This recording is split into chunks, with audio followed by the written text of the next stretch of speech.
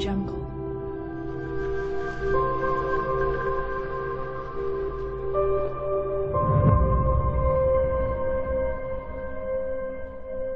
Audio Jungle.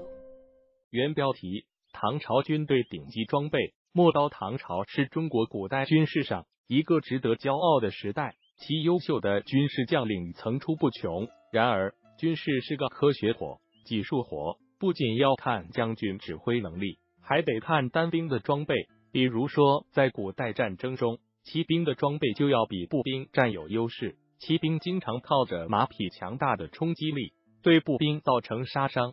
唐朝的军队以步兵为主，但是在开疆拓土上，唐朝步兵屡次把对手的骑兵挑落马下，这是怎么回事呢？原来唐朝军队装备了一种神秘的兵器——陌刀。陌刀，唐代长柄刀的一种，多为对骑兵作战使用，威力巨大。陌刀是步兵专门来对付骑兵的武器，无论对手骑术有多么高明，只要被陌刀触上，则非死即伤。陌刀的外形在《旧唐书看灵传》有记载，灵善用大刀，长一丈，施两刃，名为拍刃，每一举折臂数人，前无当者。意思是陌刀是双开刃长刀，和剑比较相似。陌刀这件兵器长三米左右，唐朝的仪仗大约是现在的三米。唐朝士兵在手持陌刀作战的时候是非常讲究阵型的。据《唐魏公兵法》记录唐军主要作战方法。唐军很讲究战斗阵型，唐军步马结合，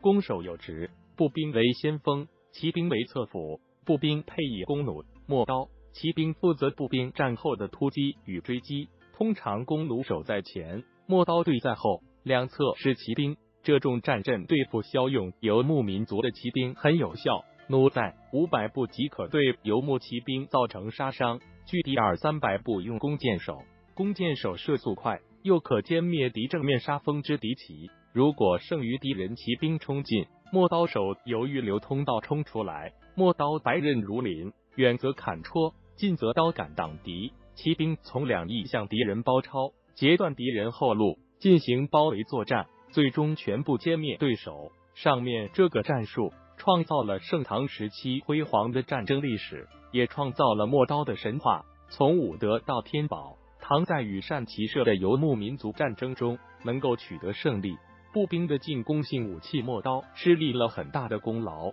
唐军兵器陌刀是对付骑兵的一件大杀器。那么这件兵器为何在宋朝时销声匿迹了？我们都知道，宋朝军队一直都在以步兵对抗游牧民族。宋朝军队为何不装备陌刀呢？其主要原因有两点：一，陌刀由于锻造费时较长，耗费铁较多。锻造陌刀的铁量可以锻造二三把普通刀，十几个枪头，因此陌刀数量并不多。为了保证对军队的充足供给，唐朝政府对陌刀采取国家管制。唐朝政府规定，陌刀是很珍贵的兵器，不能进行陪葬，民间也不允许私藏，这就导致了宋人并不了解陌刀的锻造技术。二宋代并未继承陌刀，另一个原因是军队作战方法不同。宋朝军队利用大量的步兵来抵挡骑兵的进攻，他们装备了新式的长矛、长刀、斧钺、神臂弩。然而，像陌刀这种造价高